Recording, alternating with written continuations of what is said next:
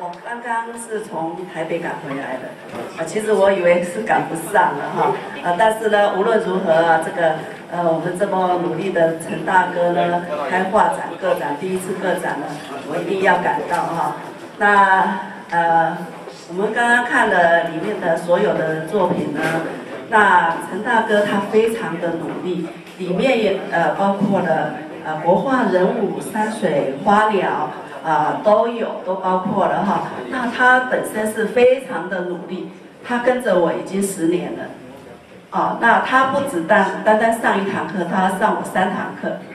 啊，有学国画人物，然后呢，在长青学院呢，呃，上我的呃国画花鸟跟山水。所以他在这个十年里面呢，退休的生活没有白过。啊，所以他非常的丰富。那他刚开始来跟我学画的时候呢，是跟着他的姐姐陈新兰女士，呃，一起来学习的。那在这边呢，我们十年呢，培养了非常非常好的感情。其实我们没有什么呃老师学生啊哈，我们只是呃像大哥大姐一样这样大家相处非常的快乐，在快乐之中呃不知不觉学到的东西哈，它里面的作品里面呃除了呃跟我的习作作品之外呢，他自己本身非常的努力学习创作。所以在里面你们可以看到有一幅画是林志玲打鼓的一个一张作品呢，是他自己的创作，而不是学习我的哈。所以他的那个作品，呃呃很那个呃得到了我们的亚太比赛第二名，大家给他鼓掌一下好不好？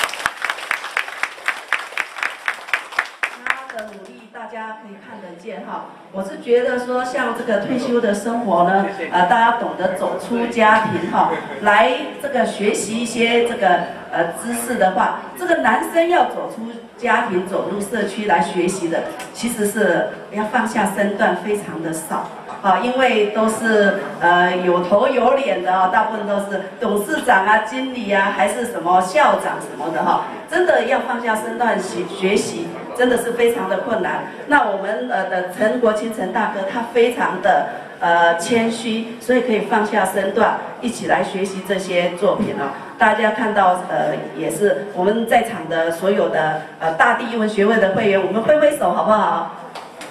啊，我们大地艺文学会的会员啊，那也是呃都来呃给他支持，给他鼓励哈。还有我们长青学院的同学举举手，挥挥手。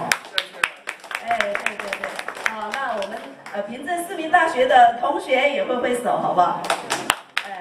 那他们都是呃来参与这个，我他他上的课程是上了这么多堂课，所以他非常的努力哈，所以这个作品呃我们看得出来非常的丰富，呃我希呃相信呢在座各位也是作品很多的哈，呃希望有一天也是跟他学习一下，就是来一个个展哈。那其实呃我没有什么大的功劳，我只是带领者一个一个带领而已。那真正的努力需要他自己。那我很高兴看到我自己的呃的门下的学员可以开个展哈，在这边祝福他呃圆满成功，也也希望呃不久的将来有第二次展览，在这里恭喜啊！谢谢大家，